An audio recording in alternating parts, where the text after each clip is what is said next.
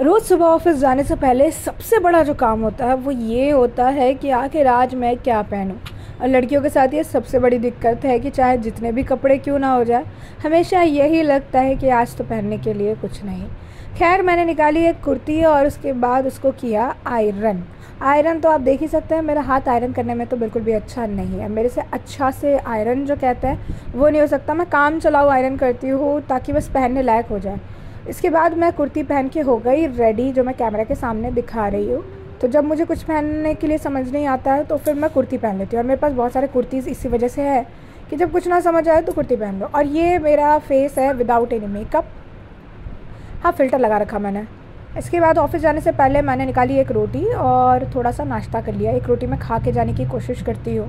सुबह से खाने की इच्छा तो नहीं होती मेरी बट फिर भी मैं सोचती हूँ कि चलो, कोई बात नहीं। एक रोटी जो है सुबह खा ही लेनी चाहिए ताकि इससे आपका जो आप कह सकते हैं एनर्जी है दिन भर बना रहेगा वरना भूख लग जाती है फिर जल्दी। सो so, मैंने फटाफट फटाफट जो है एक रोटी खाई और मैं सोच रही थी कि ब्लॉग आजकल रेगुलर बनाऊँगी तो ठीक है मैंने बना लिया।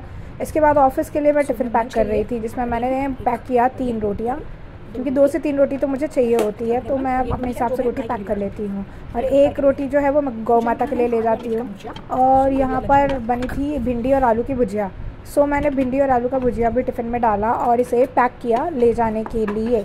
और एक साथ ही मैं कैमरा हैंडल कर रही थी और खाना पैक कर रही थी। सो कैमरा थोड़ा इधर उधर हो रहा है जो कि आप इसमें देख भी सकते हो। सो so, ये तो मैंने नाश्ता जो है दोपहर के लंच के लिए जो है पैक किया था। नाश्ता मैं यहाँ से एक रोटी खा कर ही निकल रही हूँ और आखिरकार मैंने पूरा भुजिया वगैरह सब कुछ पैक कर लिया। इसके बाद मैं निकल गई ऑफ़िस के लिए। ऑफ़िस पहुँचने के बाद तुरंत जो सबसे पहले मुझे जो चीज़ मिली वो ये थी मैं यहाँ पर अपना मेकअप दिखा रही हूँ कि यस मैं मेकअप कर चुकी हूँ रेडी हो चुकी हूँ तो मेरी सुबह की जो चाय है वो ऑफ़िस में मुझे मिल जाती है।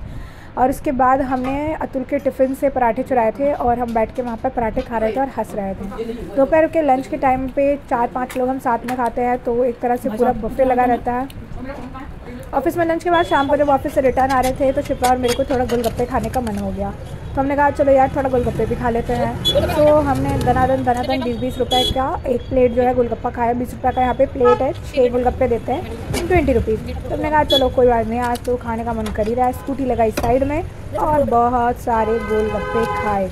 और गोलगप्पे खाने के बाद रात को डिनर में कुछ बनाने का मन नहीं था, सो ऑर्डर किया बिरयानी एंड बिरयानी आप देख सकते हो कितना बढ़िया है। आई तो लव बिरयानी, उसके बाद मैंने खाया बिरयानी।